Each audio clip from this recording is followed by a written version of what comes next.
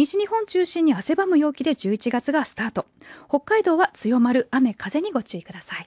全国の気象情報でした。ここまで NHK 今日のニュースをお伝えしてまいりました。担当滑川和夫と。菊野梨沙。気象情報佐藤かな子でした。時刻は7時半になります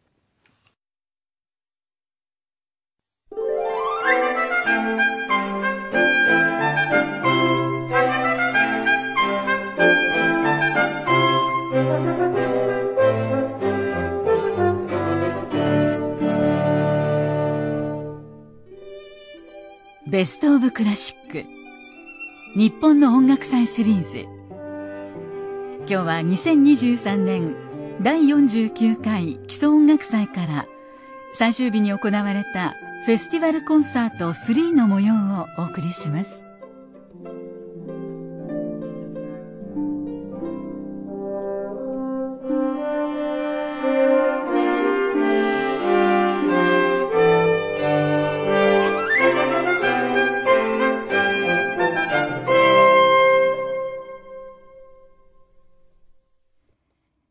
送りする基礎音楽祭は1975年から始まり今回で49回を迎えます。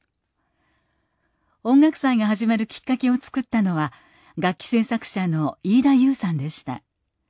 地方で音楽文化を育てようと音楽家を街へ呼んで演奏会を始めました。それがビオラ奏者のウィリアム・プロムローズを招いたレッスンと演奏会につながりこの音楽祭へと発展していきました。室内楽を中心としたこの音楽祭は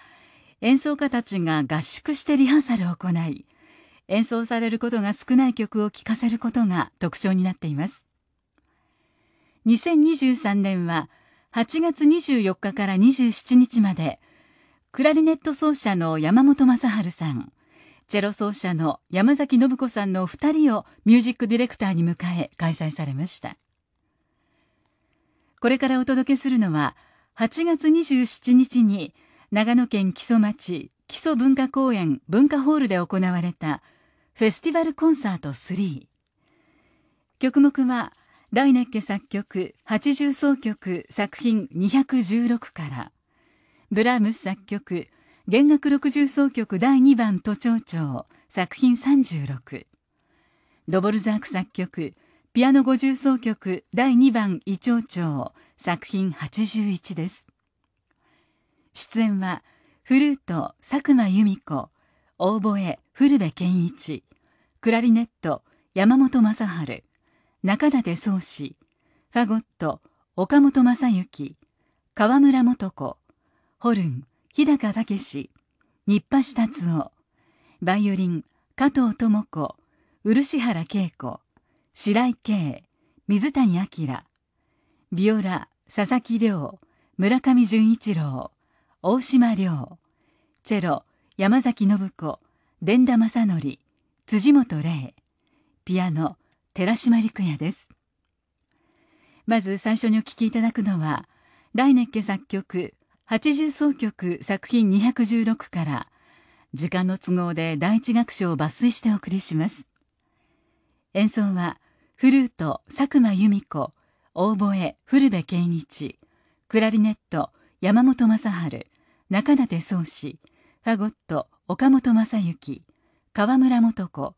ホルン日波下達夫日高武です。